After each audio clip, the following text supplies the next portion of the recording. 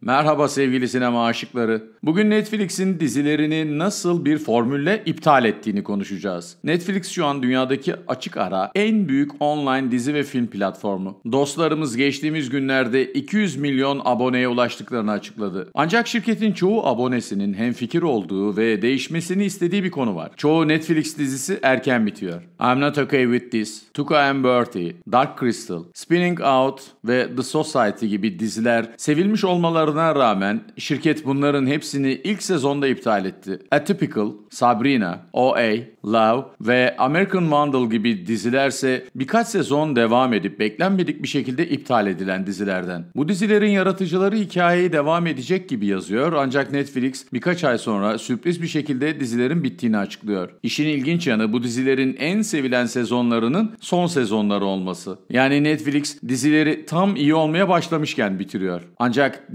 dizilerin en iyi özelliği karakterlerin sezonlar ilerledikçe gelişebilmesi. Succession ve Leftovers gibi dizilerin ilk sezonları harika değil. Yine de bu diziler sonraki sezonlarda hikayelerini inanılmaz bir şekilde geliştiriyorlar. Succession ilk sezondan iptal olsa ikinci sezonda heyecandan kafayı yedirten bir sürü harika olayı kaçırabilirdik. The Office'in ilk sezonu az reyting almıştı. Hem seyirciler hem de eleştirmenler tarafından beğenilmemişti. Ancak NBC diziyi devam ettirmeye karar verdi ve hem şirket deli gibi para kazandı hem de seyirciler çok mutlu oldu. Televizyon dizilerinin devam etmesi için en önemli şey dizinin çıktığı günkü dizilere oranla ne kadar izlendiği. Örneğin siz pazar gününe bir dizi çekiyorsunuz ve pazar günü haftanın en az televizyon izlenen günü. Siz reklamcıların pazar günü için ayırdığı reklam bütçesine uygun bir dizi çekip o gün içinde reytinglerde ilk üçe girerseniz iyi reklamlar alıp dizinizi devam ettirebilirsiniz. Ancak Netflix hiçbir şekilde reklam almıyor. Şirket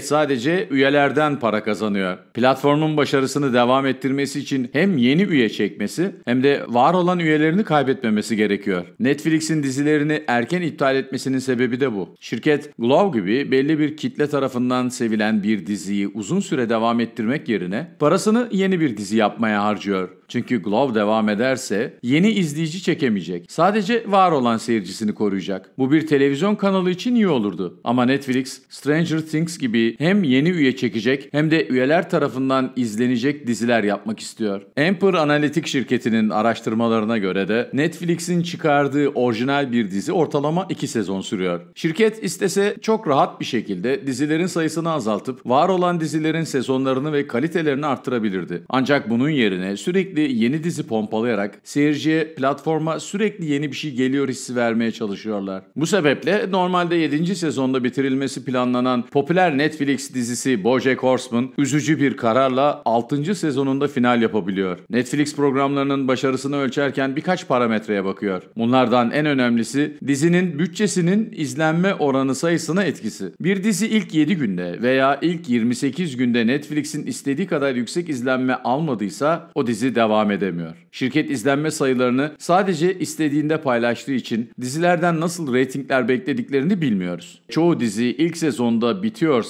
neden Türk dizilerinin hepsine yeni sezonlar çekiliyor diyebilirsiniz. Bunun cevabı da basit. Netflix için Türkiye'de dizi çekmek pahalı değil. Zaten Protector gibi dizilerin ilk iki sezonu aynı anda çekildiği için bütçe açısından da çok sıkıntı yaşamıyorlar. Umarım bir ara Netflix daha uzun soluklu diziler çıkarmaya ve sezon sezon o dizileri geliştirmeye başlar. Tek sezonluk hikayeler yapacaklarsa da Queen's Gambit'i örnek almaları harika olur. Siz de yorumlara Netflix'in nasıl bir strateji izlemesi gerektiğini düşündüğünüzü yazarsanız sevinirim. Hoşçakalın.